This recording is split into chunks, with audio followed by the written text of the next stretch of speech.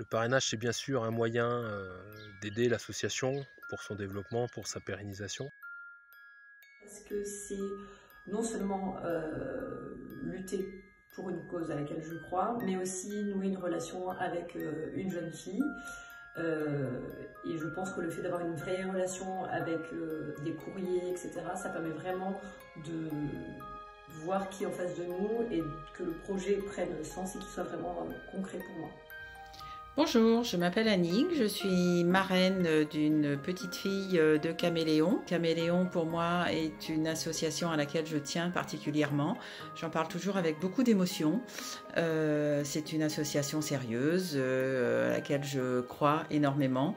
Euh, je suis allée moi-même aux Philippines, au centre de Caméléon, une première fois au tout début de mon parrainage et j'ai constaté que j'avais fait le bon choix.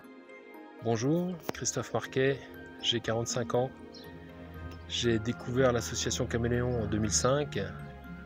Je suis donc euh, l'un des parrains de l'association depuis plus de 15 ans et j'ai eu la chance et l'opportunité de, soutenir plusieurs bénéficiaires. C'est toujours un très grand plaisir de recevoir euh, des nouvelles de leur part, savoir ce qu'ils font au quotidien, comment ils vont dans les meilleurs moments pour eux comme dans les moments les plus difficiles.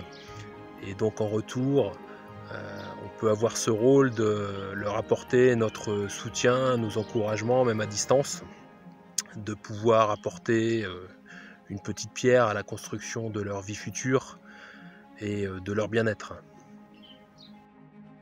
N'hésitez pas, allez-y, c'est un grand bonheur de pouvoir apporter cette joie auprès de petites filles du bout du monde de savoir que même très loin, il y a euh, une ou des personnes, des familles euh, qui pensent à eux